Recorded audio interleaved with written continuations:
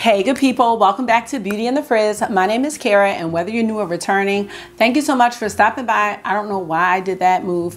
Thank you so much for stopping by and hanging out with, and I did it again. thank you so much for stopping by and hanging out with me today. It is another day of Frizzmas, and I am so excited about this video because it is a collab with my great, great friend, Ashleigh from Dr. Ash and her makeup. And today we are talking about the five most disappointing launches this year. I tried to say 10, but she was like, can we keep it to five? So we're gonna do five, but I got 10 in my mind. But if you wanna hear what I think were the most disappointing releases this year. Keep watching this video. Let me know what you think. And if makeup is your therapy, your passion, and you want to connect with other enthusiasts and just talk about makeup because you don't have nobody else to talk about makeup with because they might think you're a little bit crazy, this is the channel for you. Consider joining the community because I would love to have you back. All right, let's get started.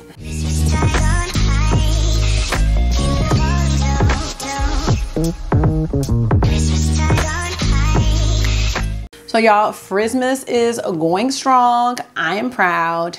I didn't know how I was gonna pull this off, but I'm pulling it off, so yes. Ashleigh from Dr. Ash and her makeup, she has a doctorate in pharmacy and she loves makeup. That's how you get Dr. Ash and her makeup. Eyeshadow is her jam. That is my girl, okay? We bonded over Mama Pat and our love for just all things Pat McGrath, who I'm probably gonna be talking about in this video.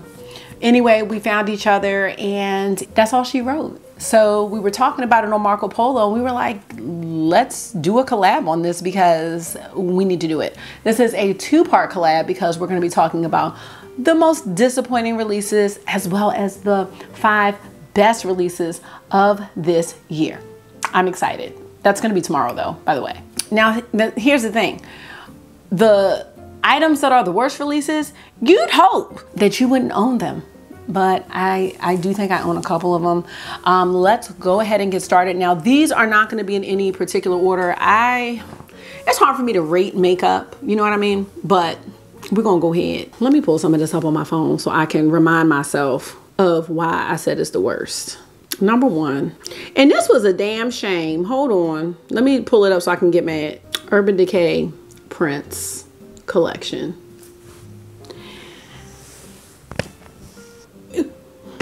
What are we doing? What were we doing? What were we thinking? Here's my thing.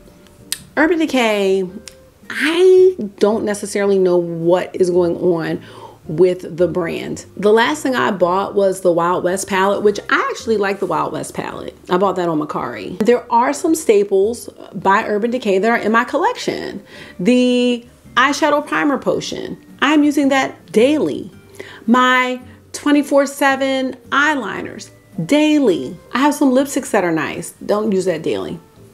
The Game of Thrones collection. I should have bought that entire collection, but I bought the palette and a few liners and I still love it. But the Prince collection, such a letdown.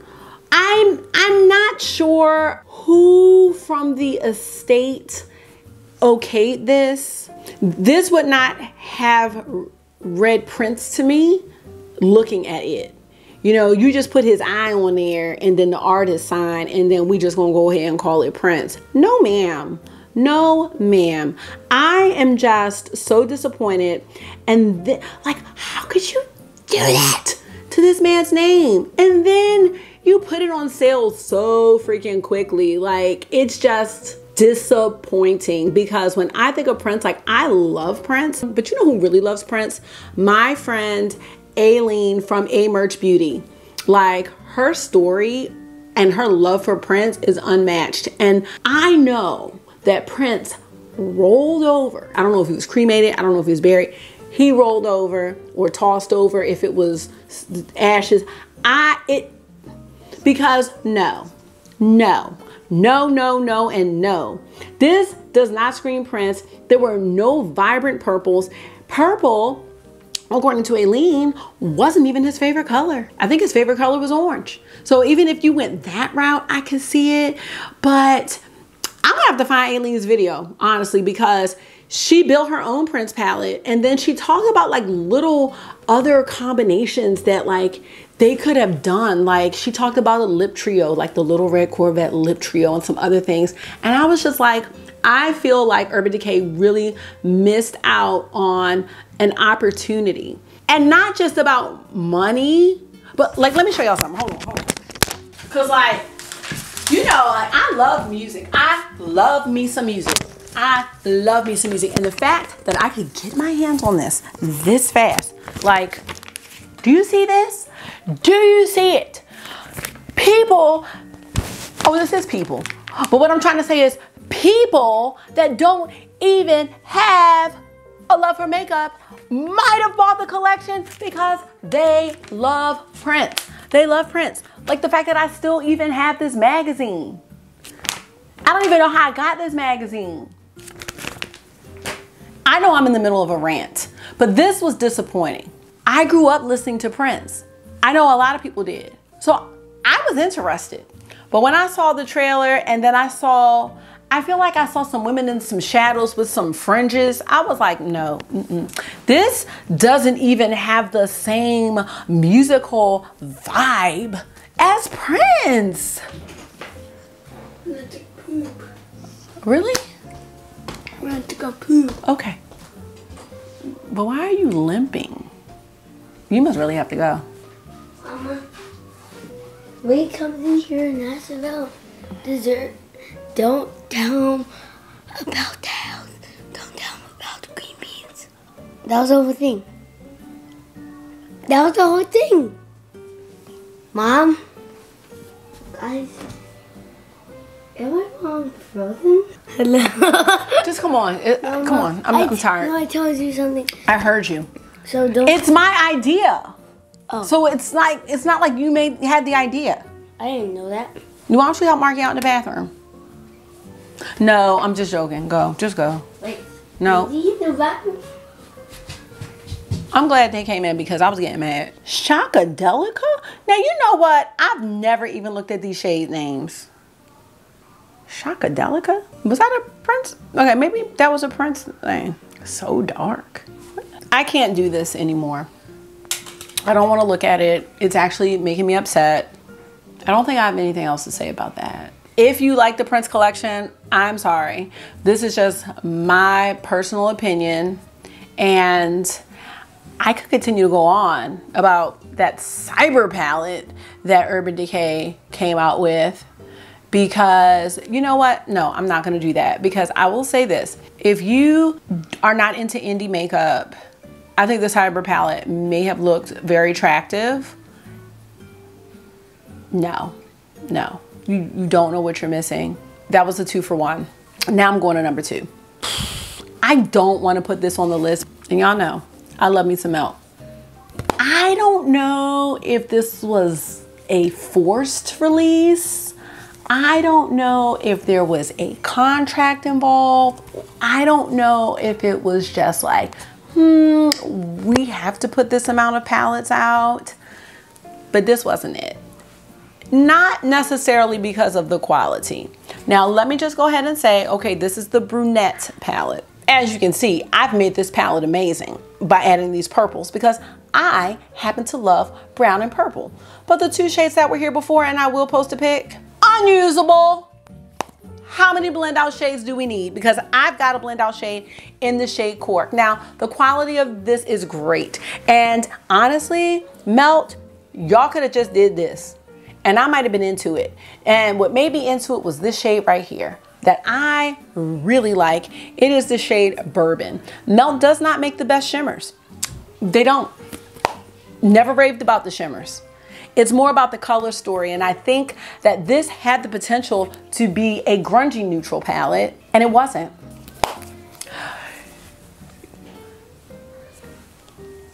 The packaging. We just gonna write brunette and have no design? We won't have no design. We won't have no no emblems, no embossings, nothing, nothing. Who are you? Who are you? That's what I want to know. Who are you? Because I don't know. It just had the potential to be a just do I have a grungy neutral palette? What would make a grungy neutral palette? I need to think about that. I need to develop one. But like these two, like these shades are great. Uh, bourbon and stout. I love that. But you know what, what took it up a notch for me? Me adding my Give Me Glow shimmers. Like this shade right here. Now this palette means something.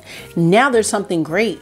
We've got a purple matte here to kind of, and trying to, listen, repack a matte, that is not my forte. He talking about yes, he won while he's on the toilet. You need to come on. Now this is a story here. But what was there before, that was not it. And then y'all wanna come up with some brushes to go with it? No, no. I think I had a gift card or something like that and bought this because I was being a melt stand, a stand. I'm not saying I'm not, but if you watched my uh, Amor y Mariposas, my second video on that, with the lesson that I learned. Didn't need this. Didn't need this. So I'm gonna go ahead and put that to the side. Now, will I use the palette the way I changed it? Yes, ma'am. But the, the issue is that when you're spending money on things, you should not have to change it. You should not have to alter it because you're spending your money on it, you know? But that's just what I chose to do. And I've chosen to do that with several things in my collection to make them usable for me because the way that I am, when I look at my collection and see something that I don't like, I, I physically get mad and I want to throw it in the trash. I'm not having a Roblox night because there's a oh, Dis there is a Disney show coming on tonight that I want you to see. Wait, Mama, wait. Just a little one, like like this, like this kind. That's hurting my nose. Mom, like this, this tiny like that. I don't know because I don't know. Number three. Let me tell y'all what else was a mess this year. Not that Hourglass hasn't been a mess. And the thing about Hourglass, it's the brand that I hate to love. Uh, it's a brand that I hate to like because Hourglass has created these blushes that I really, really like. I really like their blushes. I really like their strobe highlighter and I really like the ambient powder. I have not purchased from Hourglass in a very long time, very long in my makeup life, probably like a year, um, because they're playing a lot of games. Last year, I think it was with the ambient powder and they tried to act like it was darker, but it wasn't and all this kind of stuff. It's just like, okay, this is just too much. People are playing top notch for your products and either you don't have any people of color on your team or you don't care about having people of color purchase your products because you thought that you were gonna dim the lights and do some trickery and then put this powder trio on someone deeper and say it's deeper. And it wasn't. And that was a mess. And that's when I was just like, nope, I, I just can't. Wow, Pop. Not yet. What I'm here to talk about is that eyeshadow curator collection. Now, I, can you close the door? Watch out. Oh yeah, watch out. I don't know why you felt that your little five pants were gonna be worth as much as a Pat McGrath mothership. You have to be out of your mind. I would buy the Huetopian Dream at that price over buying those five shadows. I didn't watch any reviews. I don't know how they performed. They're trying to mix and match. No, thank you. No, thank you. $30 for one of those little pans. And what, that's not even mimosas and makeup. I don't know why this was perceived to be a good idea. I don't know who is on your team where you feel as though that's okay. Cause you're already in the doghouse. I will buy a Tom Ford quad at regular price over that. I just don't understand what the purpose was. I don't understand the the the I'm speechless. I saw that and I was just like, what is this? And why are we doing it? I'm go poop. You have to poop too? Marky just came and pooped. Ah. I'm not sure what else to say about that. I don't own it. I won't own it. I just thought it was just nothing. I thought it was nothing. They lost their way on that, just like Urban Decay. Y'all lost y'all way. Melt, I don't know what Melt was doing because they, they clearly haven't lost their way. They did lo- they lost their way with the pricing of the holiday collection. They, they lost it with that. They were out of touch with the reality of people's financial situations, but they have not lost their way with their vision. But that, no, That was not melt. That was some alternative melt. That was like some alter ego melt because I don't know what that was and I don't know what this hourglass was. And that's number three. Let's go ahead and talk about Mama Pat because I just don't want to forget. Why would you, huh? Let me get my thoughts. Hold on. I help August.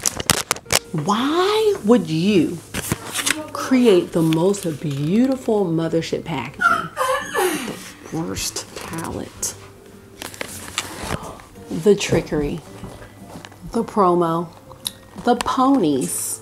And y'all know how I felt about those ponies in that promo and that color, the greens, the oranges. Yes, how may I help you? Okay, that's an interesting face. The greens, the oranges, the purples. You won't tell me, you will not tell me that it was all about this shade right here. You will not tell me that. Yes, this is pretty. Yes, this is beautiful. Yes, I don't mind having it. But I thought it was a joke. When I saw the reveal, I, I was like, oh, April Fool's. Oh, but it wasn't April 1st. It's not April. It was it wasn't. Did I buy this for full price? Absolutely not. This flip shade, gorgeous. I am not saying that it was it was not. Just call it Divine Rose 3. Do not call it a utopian dream because it was a utopian reality for me that I cannot stand brands no matter what. I just can't do that anymore. And I still did it. I still did it with Melt after learning that lesson with Pat. And it's like, I don't know how many times. Like I said, this is not a regret that I have it because I didn't pay full price. Somebody actually sold it on Mercari and I had a balance. So I ended up paying like $36 out of pocket, which works for me because I don't have to look at it and be upset. Beautiful quality uh, in this palette. Beautiful, beautiful shades. It's just that many of us have been expressing our uh, boredom with pink. And if you love pink, and I get that, I don't mind pink at all. It's just that I have Divine Rose 1, which is like a muted down palette. I have Divine Rose 2, which was definitely the palette of 20, uh, 2020, I think it, for me, like just, that was the first time I had experienced a pat, like a, Pat McGrath launch. You know what I mean? And I was so excited and just thrilled and was so happy to get it. And let's not lessen what that was by putting this out. Like, give me something different because this purple, as as beautiful as it is, it did not wow me. Then you're gonna put out this eye pen. Now, I understand that the intensifies whatever is cool and people like that. But I didn't like that if you bought this palette at launch with the pen in that bundle, the pen was really only worth like seven bucks if I did the math correctly. But if you bought the pen on its own, I think it was being sold for like 30. I was just like, that's crazy to me. It really, really frustrated me. There's just other colors that that can be used and that have not been done. And I think that with Divine Rose 1 and then Divine or Divine Rose, then Divine Rose 2, and then this, I think people were just really waiting for something different. And with the increase of people knowing about indie brands and duochromes and seeing all that stuff, it's like, we wanted that from Pat. We want because we know she can do duochromes. We know that from VR Sextraterrestrial. We know that from the corruption shade that was in Star Wars. We know that from one of the shades I think is a duochrome that was in uh the Celestial Divinity palette. Like, we know she can do that. So, like, we want that in the Pat format, not in the indie format. Like, I wanted it, I want both. I want Pat's format formula. I want the indie formula. I wanted it from Pat because I know VR Sextraterrestrial was just such a beautiful, beautiful shade. Like, I feel like I'm slurring my speech. Like, it was beautiful. And even this little cousin shade, I can't remember what it's called. This is beautiful too. It's just not as harsh. You know what I mean? Huetopian Dream just made me think of like a rainbow palette. And I know that Pat's not going to give us a traditional rainbow, and nor do I want her to. But I was thinking we were going to get a blue or green. Like she doesn't really do a whole lot of blues. She doesn't do a whole lot of greens. And I was just really, really looking forward to it. I was so excited because Pat took us on a little you know, she been taking us on some trips before she gives us what we want. I think she kind of made up for it with the Celestial Odyssey palette, but my excitement was a little lackluster for that, and it may have stemmed off of here. I just didn't have that that Pat McGrath excitement. I don't know if it's going to return, and it really makes me sad after reading about Pat McGrath and like I said, not even knowing she was a black woman. You know what I'm saying? That's how much I don't know about makeup. I bought every palette she had. I found them all. I know I spent more than what those palettes were worth on some of them. And now I'm like, I don't care if I don't have every palette. And I hate that because that was something I was so proud of. So this was a serious disappointment for me. And that's what I'll say about that. All right, number five, I'm gonna give it to the MAC Sims collection. As someone who has played Sims in the past, I just don't understand why there wasn't a green shade in there for that little diamond that, that hangs over them. I think I was just a bit flabbergasted. Like, well, what makes this a Sims palette? I just was really confused. And if you guys follow Doodles by the Bunny, I believe she redesigned those palettes to really reflect what a Sims palette would look like. Like, Sims is colorful, but that green is like, to me, the staple shade of The Sims. I don't know what that palette was supposed to reflect. And that's pretty much all I have to say about it because I never looked at it again. I never considered it. I was just like, I don't even know why they came out with the palette. Like, I don't know if a new Sims game came out. I don't, I just don't understand what it was supposed to be. And please forgive me if like I'm just not seeing something that is obvious, but I don't understand. Like, was it supposed to be different skin tones? Because they were just two neutral palettes, and I, yeah, I don't understand what this was supposed to be. The only thing that looked like Sims was the cover, the packaging, because it said Sims, and it had the little green diamond. So I don't know. I that was just very tragic. Like, you know, I hate when I see brands like come out with things and you feel like, damn, they really missed the opportunity to even pull it. Not that I want you to pull at my heartstrings, but pull at people's nostalgia and heartstrings with these collections. Like, do it right.